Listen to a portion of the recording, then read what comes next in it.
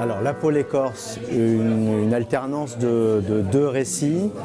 Euh, le premier, à l'ouverture, l'écorce, euh, c'est l'histoire d'un soldat dans une guerre euh, euh, dont on ne saura pas grand-chose, une guerre qui n'en est plus vraiment une.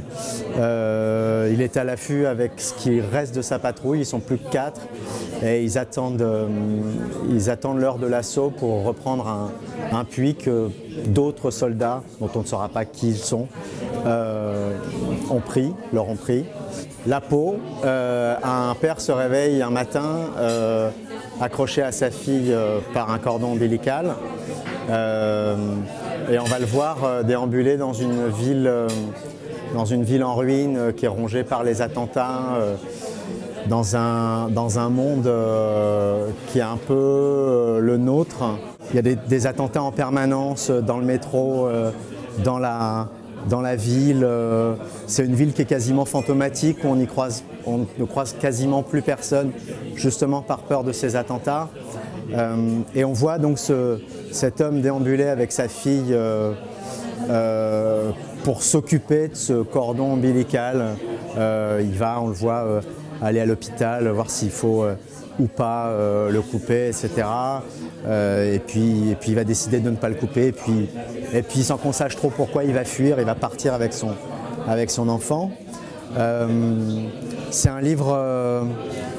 C'est un livre qui, parle de la ruine des corps euh, dans le monde dans lequel euh, on vit actuellement. Euh, beaucoup de descriptions de, SDF, de, voilà, de, ce que, ce que qu'un des personnages appelle cette humanité inutile, qui a été, voilà, qui est complètement mise au banc. C'est un livre aussi sur sur la paternité, euh, sur euh, qu'est-ce que ça fait d'avoir un enfant. Euh, c'est à la fois une entrave qui empêche probablement d'agir, et c'est aussi en même temps un ancrage. Et ce, personnage du père, il est, pris est pris dans ce, dans ce paradoxe, dans ce paradoxe-là.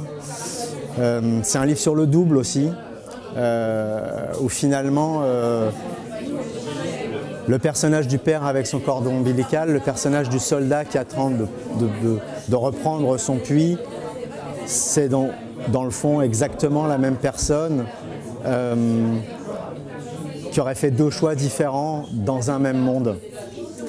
Et euh, c'est aussi un livre sur la rupture, c'est un livre sur, euh, sur l'action ou l'inaction ou sur l'impuissance à agir, sur les faits et sur le monde tel qu'il est aujourd'hui.